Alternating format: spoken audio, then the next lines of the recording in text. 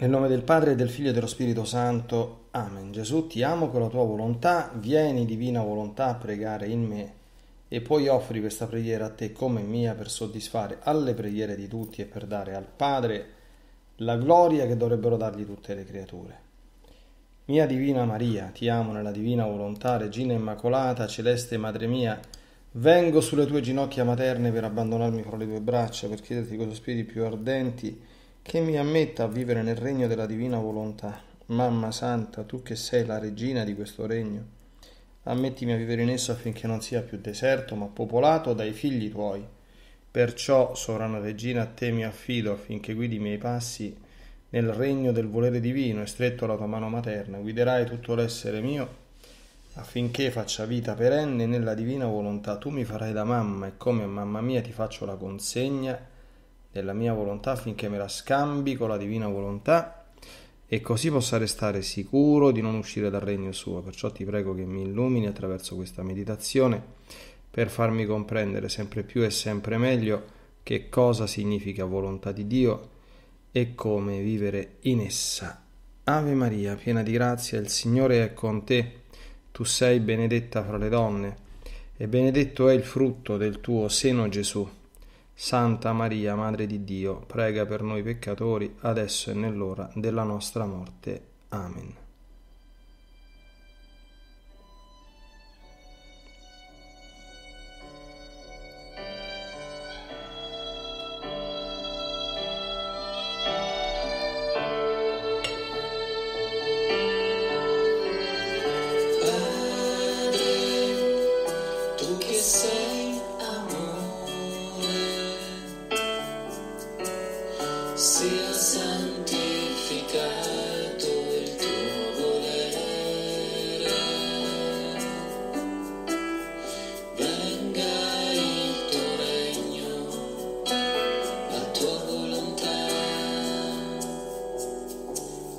Beach.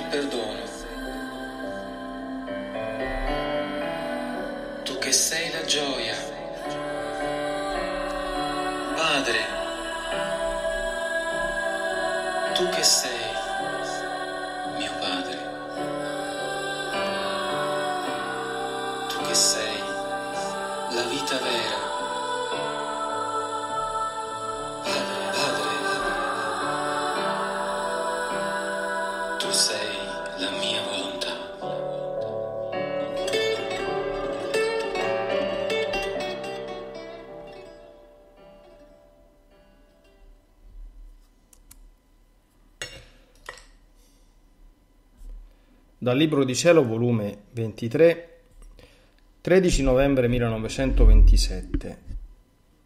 Come il Verbo stava nel centro della sua umanità e come operava. Come c'è gran differenza tra il regnare della volontà divina e tra la santità dei santi ancorché ci fossero miracoli. Ciò che il fiat è per natura vuole rendere le creature in virtù del suo atto continuo. Stavo seguendo il mio giro nel volere divino e giunta agli atti che esso fece nell'umanità di nostro Signore, il mio dolce Gesù, muovendosi nel mio interno, mi ha detto, Figlia mia, il verbo divino nella mia umanità stava come centro di vita in essa. Eravamo inseparabili l'uno dall'altra. Ma siccome la mia umanità aveva i suoi limiti ed il verbo era senza limiti, immenso ed infinito, non potetti restringere dentro di essa tutta la luce interminabile del verbo. Questa luce straripava fuori in modo che i suoi raggi, straripando fuori dal centro della mia umanità, uscivano dalle mie mani, dai miei piedi, dalla bocca, dal cuore, dagli occhi, da tutte le parti della mia umanità, in modo che tutto il mio operato scorreva in questa luce, che più che raggi solari investiva tutto e rintracciava tutti gli atti delle creature per dare i suoi, affinché gli atti di loro investiti dalla sua luce prendessero la forma dei suoi e fusi insieme acquistassero il valore, la bellezza degli atti suoi. Ma quale non fu il dolore della mia umanità nel vedersi respinti dalle creature, nella stessa luce del Verbo Eterno, gli atti suoi, ed impedirgli la trasformazione che voleva fare dalle, nelle creature? Ogni suo atto era un dolore ed ogni atto delle creature si convertiva per la mia umanità in amarezza ed offesa. Com'è duro voler fare del bene, farlo e non trovare chi riceve questo bene. Questo dolore dura ancora perché tutto ciò che fece la mia umanità nella luce dell'eterno Verbo esiste ed esisterà sempre e sta sempre in atto di fare ciò che una volta ha fatto e sta come in agguato aspettando che la creatura riceva la trasmissione degli atti suoi, affinché uno fosse l'atto, uno il valore, una la volontà, uno l'amore di ambo le parti. E solo col regnare il mio fiat può l'operato che io feci nella redenzione avere il suo totale compimento, perché con la luce di esso le creature gli toglieranno si toglieranno la benda e faranno scorrere in loro tutto il bene che il Verbo Eterno venne a fare nella mia umanità per amore delle creature. Onde mentre ciò diceva, vedevo il mio dolce Gesù che da dentro il suo interno usciva tanta luce che investiva tutto e tutti. Onde seguivo il mio giro nel fiat divino ed accompagnando col mio ti amo tutti i prodigi che esso aveva fatto nei santi patriarchi e profeti dell'Antico Testamento, come quelli dopo la sua venuta sulla terra, per chiedere in virtù di tutti questi atti suoi il suo regno divino in mezzo alle creature, pensavo tra me. Se tanti prodigi questo santo volere ha fatto in tutti questi anni, non è questo dunque il suo regnare, almeno in questi santi così prodigiosi? Ma mentre ciò pensavo, il mio amato Gesù, muovendosi nel mio interno, mi ha detto, Figlia mia, non c'è bene che dalla mia volontà divina non sia uscito, ma passa gran differenza tra il regnare di essa nelle creature, tra lo sprigionare un atto da dentro di essa e comunicarlo alle creature, come Abramo sprigionò un atto di eroismo ed ebbi l'uomo eroico nel sacrificio. Mosè un atto di potenza, fu l'uomo prodigioso, Sansone un atto di fortezza, fu l'uomo forte. I profeti ai profeti rivelò ciò che riguardava il futuro redentore furono uomini profeti, e così di tutto il resto che si sono distinti come prodigiosi e di virtù non comune, secondo l'atto che sprigionava il mio volere divino, se prestavano la loro adesione corrispondevano e così ricevevano il bene dell'atto di esso. Questo non è regnare, figlia mia, né forma il regno del mio volere. Per formarlo non ci vuole un atto solo, ma l'atto continuato che esso possiede. È questo che vuol dare alle creature per formare il suo regno, il suo atto continuato di potenza, di felicità, di luce, di santità, di bellezza inarrivabile. Ciò che il mio fiat è per natura vuole rendere le creature in virtù del suo atto continuo che contiene tutti i beni possibili ed immaginabili. Diresti tu che un re regna solo perché ha fatto una legge, ha dato un bene al suo popolo? Certo che no. Il vero regnare è formare la vita dei popoli con tutte le leggi, dando il regime decoroso, conveniente, retto e giusto alla vita di essi. dando loro tutti i mezzi necessari affinché nulla gli manchi per loro bene. Il re per regnare dovrebbe avere la sua vita in mezzo ai popoli e fare una, e fare una la sua volontà e i suoi beni con essi, in modo che il re doveva formare la vita del popolo ed essi la vita del re, altrimenti non è vero che questo è regnare. Questo è il regnare della mia volontà, rendersi inseparabile dai figli del suo regno, dar loro tutto ciò che possiede fino a traboccarne fuori, per avere figli felici e santi della sua stessa felicità e santità. Ora da qui si vede che ad onta dei tanti prodigi e miracoli che santi, profeti, i patriarchi hanno fatto, non hanno formato il mio regno in mezzo alle creature, né hanno fatto conoscere il suo valore, né il gran bene che possiede la mia volontà, né ciò che può fare o vuol dare, e lo scopo del suo regno. Perché mancava il suo atto continuato, la sua vita permanente in loro.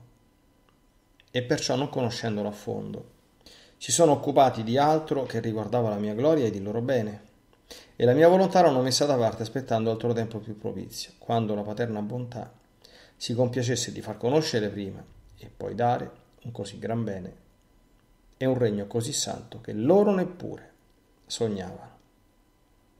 Perciò sii attenta e segui il tuo volo nel fiat divino.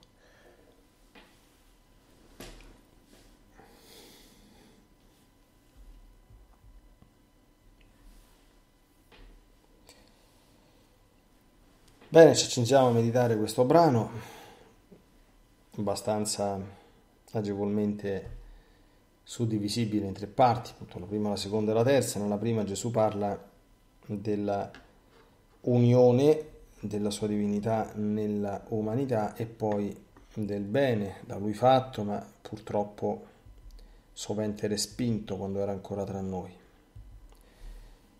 Ecco, dopodiché c'è la narrazione dinanzi alla domanda di Luisa se le gesta dei grandi patriarchi e dei santi dell'Antico Testamento e dei santi in generale non avessero, non fossero già una prima manifestazione del regno della divina volontà, e, o, o meglio proprio una manifestazione in senso stretto del suo regno, e Gesù spiega e dà la risposta, e poi nell'ultima parte approfondisce che cosa significa questo regnare, tornando di nuovo, ecco, usare quell'espressione eh, atto continuato che poi la, la riprenderemo e facendoci comprendere come il fine della nostra vita, che poi eh, la sua realizzazione eh, vedremo, insomma, in parte dipende da noi, ma eh, deve anche certamente essere concepita come un grande dono di Dio, appunto il regno del suo regno è la il regno dell'atto continuato in noi, una partecipazione reale della felicità e della santità divina. Ecco perché si chiama il nuovo Eden, l'anticipazione del paradiso, eccetera. Bene, andiamo come sempre con ordine. Ecco, Gesù anzitutto spiega una cosa fondamentale, questo ci aiuti anche a noi, che perfino la sua stessa umanità unite ipostaticamente alla persona del verbo, quindi attraverso insomma, una modalità che rende l'umanità di Gesù insussistente, non autosussistente, cioè non sussistente se non unita alla persona del verbo. Io anche quando, per quanto possibile, cercavo di introdurre un po' questo mistero anche a, a studenti e allievi, dicevo dobbiamo pensare semplicemente una cosa. Ogni essere umano, io, te che ascolti, io che parlo, te che ascolti, siamo degli individui, no? quindi la mia umanità adesso ha il principio di sussistenza in sé. Una volta che io ci sono, è chiaro che ci sono perché Dio mi ha creato. Rimango perché Dio mi conserva nell'essere, questo lo dobbiamo sempre ricordare. Ce lo siamo detti tante volte commentando la divina volontà. Però è la mia umanità coincide con la mia persona, col mio essere per sé uno, questo significa persona. Quindi io sussisto eh, perché, perché sono io. L'umanità santissima del Verbo, cioè Gesù, proviamo a, a, a scinderlo per un attimo, soltanto ovviamente nell'ipotesi, non nella realtà. L'uomo Cristo Gesù non ha un principio di sussistenza proprio, Cioè non esisterebbe nemmeno se non fosse unito ipostaticamente alla persona del verbo. Eh, per cui, eh, per questo quando a Gesù gli dicevano chi sei tu? San Pietro disse tu sei il Cristo, figlio del Dio vivente, il figlio di Dio. Il chi si riferisce alla persona, no? Eh, io sono il figlio di mio padre e di mia madre e il mio nome è. Ma lui dice io sono il figlio di Dio, non dice sono il figlio di Maria. Si capisca bene quello che sto dicendo, eh? Perché? Perché certamente che Gesù è anche figlio di Maria, quanto alla natura umana assunta, ma strettamente parlando è figlio di Dio, perché la filiazione si predica della persona anzitutto. È e quella umanità non esisterebbe se non fosse appartenente, quindi è unita in maniera indissolubile alla persona del Verbo. Questi sono misteri per cui questa piccola spiegazione, eh, se il suo Spirito Santo aiuta e il, l'intelletto si apre un pochino, certamente aiuta un po', non fa evidentemente, eh, non rende il mistero non più un mistero perché rimane sempre un grande mistero l'incarnazione. Ora, per quanto questa umanità non fosse quindi autosussistente, non poteva come dire, riempire e restringere dentro di essa tutta la luce del verbo, a cui era unita ipostaticamente. E questo ci fa capire anche l'immensità assolutamente infinita e appunto in nessun modo circoscrivibile eh, di ciò che la divinità è, di ciò che la divina volontà al tempo stesso è. Nonostante questo, dice Gesù, eh, siccome comunque questa luce c'era dentro di me, anche se la mia, la, la, la mia umanità non poteva contenerla del tutto, quindi sprigionava in continuazione luce e atti meravigliosi e, e faceva cose stupende. Purtroppo, e questo è sempre il grande purtroppo, incontrava quasi sempre una resistenza delle creature, una refrattarietà, una non possibilità da parte delle creature di farsi trasformare, impedirgli la trasformazione. Bellissimo questo, questo termine, no? Trasformazione che sì, è in un certo senso sinonimo di conversione, no? Però mentre conversione rappresenta un pochino l'atto, la trasformazione rappresenta l'effetto della conversione. Cioè, trasformazione significa cambiare forma, cioè, quindi essere la classica altra persona. E questo è quello che la grazia di Dio fa con chi glielo consente fino in fondo. E poi Gesù fa quella grande esclamazione che non è, ci dice anche che non è finita con la fine della sua vita terrena, ma è una esclamazione perennemente in atto come è duro fare del bene, farlo e non trovare chi riceve questo bene, no? Magari può essere successo anche a noi qualche volta e voler fare un bene a qualcuno, avere la capacità di aiutarlo, di tirarlo fuori da un guaio e vedere che questo qualcuno non vuole aiuto. Non lo chiede e se glielo porgo non lo accetta, anzi, magari si pure indispone, si pure altera, si pure adira. Chi ha vissuto questa cosa lo sa che si dice, ma, dice, ma figlio, ma ti vorrei tanto per aiutare, ma perché fai così? Se una libera volontà respinge un aiuto, non ci si può fare niente, purtroppo. E questo è il dramma di Dio, è il dramma che Gesù ha vissuto sulla terra e è purtroppo il dramma che continua a vivere. Ora, nella seconda parte sappiamo no, che nei giri della Divina Volontà, questo si trova anche nel più pellegrinaggio della Divina Volontà, a un certo punto arriva il giro negli atti della storia della salvezza, che è un grande giro, insomma, dove si vedono tanti prodigi che la Divina Volontà ha operato a vantaggio nostro, del suo popolo. E, e dice, ma insomma, questi... Eh, hanno fatto veramente prodigi, no? E se tanti prodigi questo volere ha fatto tutti questi santi, non è questo già il suo regnare, almeno in questi santi così prodigiosi. E Gesù con... dice di no, anzi dice che passa gran differenza tra il regno di essa nelle creature e lo sprigionare un atto da dentro di essa. E questa è la famosa... Ehm, io a volte mi, mi sembra, ecco, mi sembra, perché anche qui ci muoviamo nell'ambito del mistero e ci sono sicuramente sacerdoti che più bravi e che hanno approfondito meglio di me alcune cose, no? A me sembra che questa distinzione corrisponda un po' a quella che c'è in teologia tra la grazia santificante e la grazia attuale, così il regno della divina volontà, e invece la santità comune, ordinaria degli atti. Allora, mi spiego, troppo oggi per capire queste cose, per meditarci un po' sopra bisogna ricorrere a un po' di teologia sperando di essere non pesante, di renderla il più semplice possibile.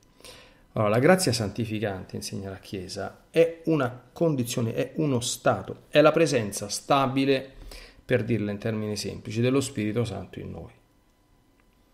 Questo non vuol dire certamente che tutti gli atti che facciamo sono atti compiuti in nome dello Spirito Santo, o meno che mai lo Spirito Santo li compie in noi, però è una condizione. Cioè un bambino battezzato ha la grazia santificante ed è in grazia santificante fino a quando non sarà capace di commettere un peccato mortale, perché la grazia santificante, sappiamo dal catechismo, si perde solo col peccato mortale. E diminuisce, no? è come con il peccato veniale, non aumenta con l'imperfezione. Credo che altre volte abbiamo meditato su, su, queste cose. Invece la grazia attuale è quella che Gesù può fare a chiunque, anche a un peccatore non sempre è facile distinguere, perché la grazia attuale è un'ispirazione, per esempio, che Dio manda. Una persona che sta tanto lontana da Dio sente nel cuore, per capire cos'è la grazia attuale, è ora che te vai a confessare. Ecco, se nel cuore dice sì, mi andrò a confessare, ha accolto una grazia attuale. Quella è una grazia che è cominciata, che è finita, nel senso aveva come, come, come fine quell'aiuto divino di portarla a confessare. Dopo che si sarà confessata, avrà la grazia santificante e potrà riprendere il cammino. Non so se cioè, sono esempi semplici, però ecco così.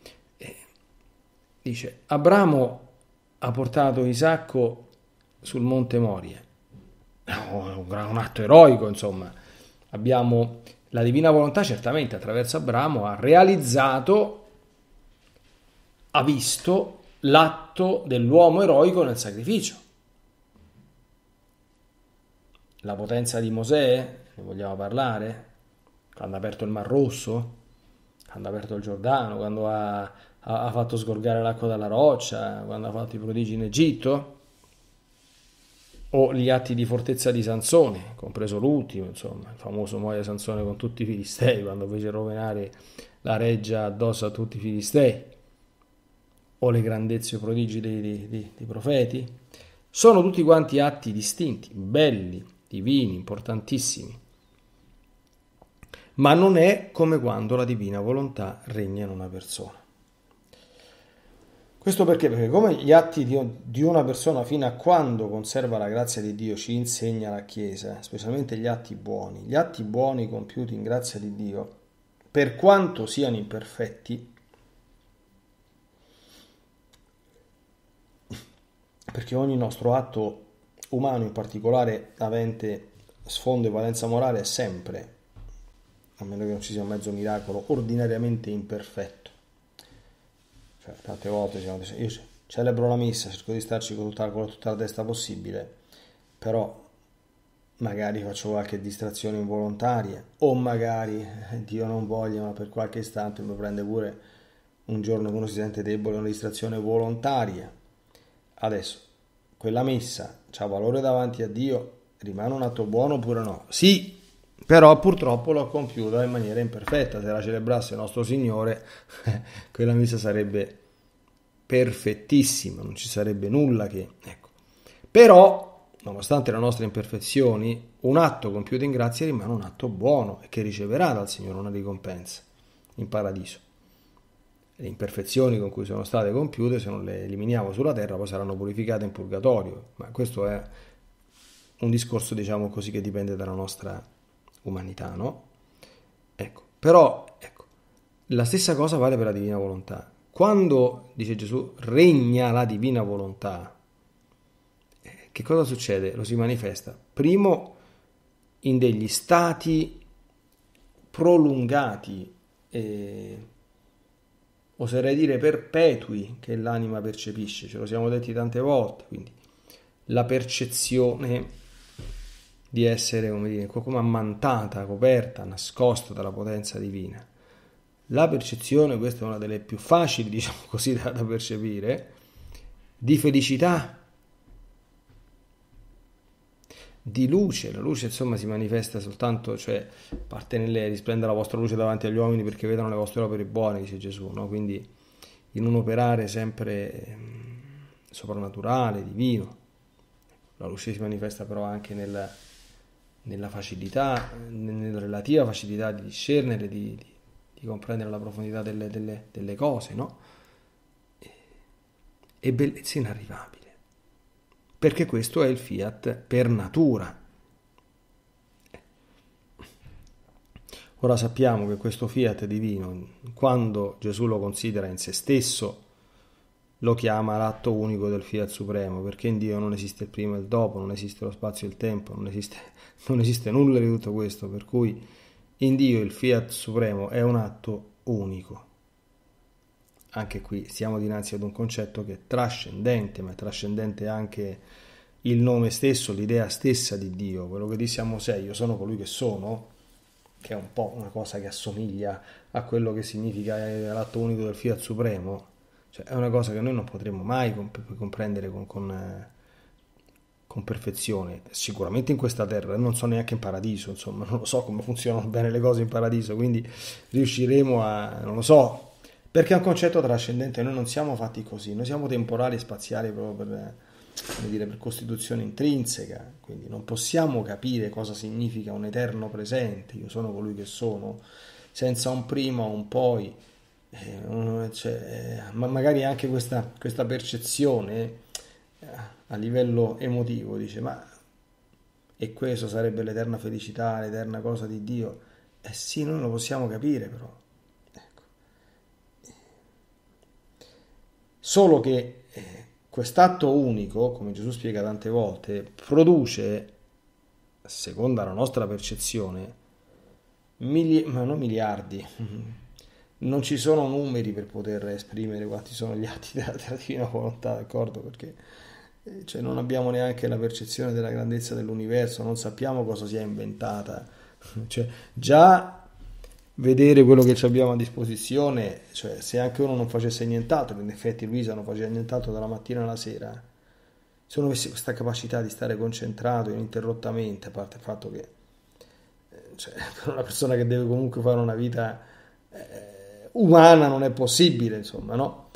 Ma se uno supponiamo avesse la capacità di stare 24 ore su 24 a girare in tutti gli atti della divina volontà, ma una vita intera non gli basterebbe per, per esaurirli.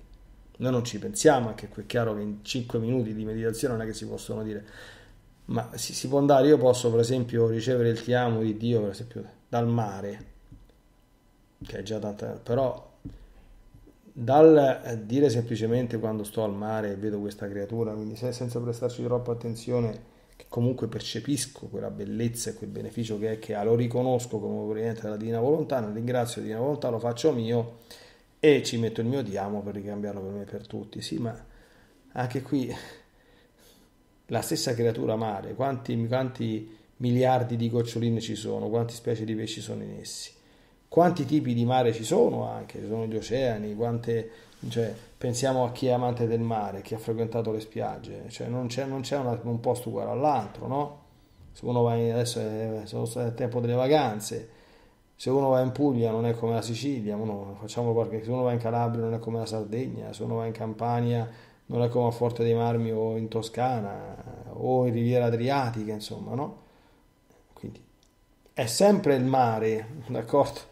Però con tutti quanti quei tocchi di, di, di, di varietà infinita che, che, che Dio ha, ha disseminato e quindi con tutta quanta la sua vastissima complessità. Quindi se uno volesse soltanto spendere tutta quanta la vita per eh, trovare le opere della divina volontà solo nel mare, io penso che non lo so se gli basterebbe una vita.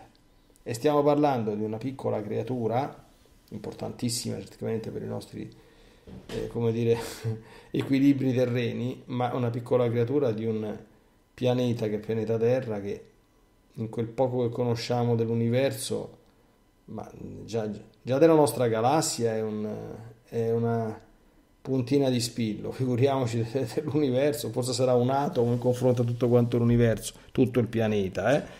e dentro questo atomo ci sarebbe poi il mare, quindi immaginiamo, dico tutte quante queste cose perché questo è... ecco. E... Rendersi inseparabili dai figli del sogno. Quando uno vive in questo mondo, e per vivere in questo mondo, eh, ce lo siamo detti tante volte, che bello, come si fa? Eh, che bello, come si fa? Risentiamo tutte quante le meditazioni originarie, le, le, le, dire, le, cose sono, sono sempre le stesse, si cercare anzitutto di farla, la divina volontà di discernere sempre meglio, di agire con purezza di intenzione, di distaccarci da noi stessi, dalle cose, dalle creature. Questo, questo già, già, già, lo sapevano più o meno gli asceti, d'accordo? Più o meno.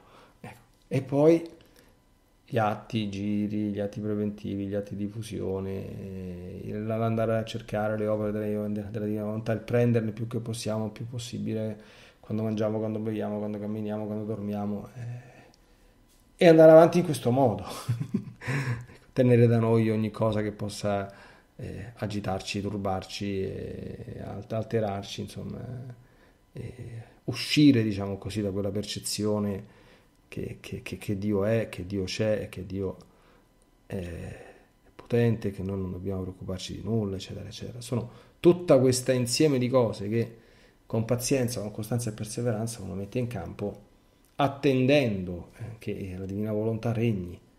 Eh, io, per esempio, non sono in grado, come una persona, per esempio, quando sta in grazia di Dio, cioè lo percepisce da alcuni effetti e, mai con certezza, perché c'è il Concilio di Trento che dice che nessuno può sapere con certezza di essere in grazia.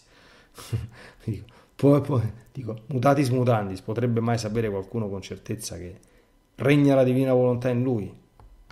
Quale percezione sensibile, se ci sarà una percezione sensibile, se ne avrà? Quale? Quanta? Eh, questi sono interrogativi insomma abbastanza, abbastanza grandi. Io suggerisco sempre ecco, di, eh, un ottimo criterio di interpretazione. Noi stiamo sempre ai fatti, ai fatti e alle poche cose oggettive e sicure che conosciamo.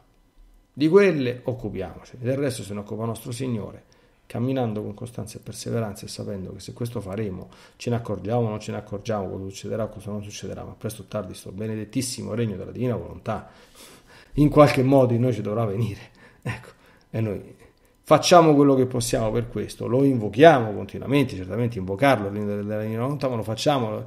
Gesù sono duemila anni che ce lo fa fare per forza, perché quando diciamo il Padre nostro noi lo invochiamo il regno della divina volontà. Eh. Quindi questo lo fanno tutti, anche chi non ne è consapevole.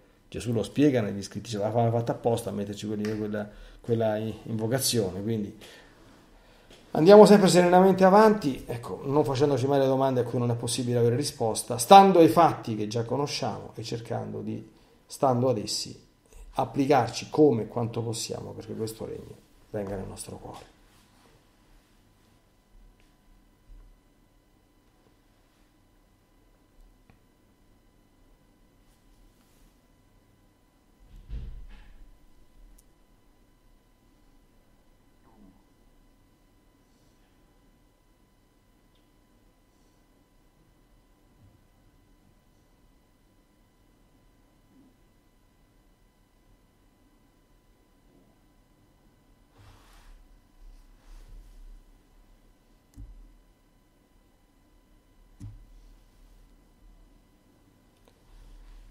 Bene, come sempre ti ringraziamo Santa Vergine Maria di averci accompagnato come, e guidato in questa odierna meditazione. Come sempre ti chiediamo di aiutarci a trasformarla poi in vita, in preghiera, a ritenere nel cuore ecco, ciò che il Signore può averci detto attraverso queste bellissime considerazioni fatte da Gesù e aiutaci soprattutto ad essere sempre perseveranti, costanti, ecco. mai scoraggiarsi, mai indietreggiare, mai perdere la percezione che stiamo camminando, ecco, siamo in ricerca, siamo in attesa di ciò che tu hai vissuto e che il Signore ha promesso e ci sta facendo invocare, per cui serenamente cerchiamo di fare quello che possiamo e attendiamo con te che lo, che lo aneli più di tutti noi questo benedetto regno del divino volere in noi, nella Chiesa e nel mondo. Nella divina volontà, nel nome del Padre, del Figlio e dello Spirito Santo. Amen. Ti benedico per aiutarti, ti benedico per difenderti, ti benedico per perdonarti, ti benedico per liberarti da ogni male, ti benedico per consolarti, ti benedico per farti santo, ti benedico dunque nella divina volontà, nel nome del Padre e del Figlio e dello Spirito Santo. Amen. Fiat Ave Maria.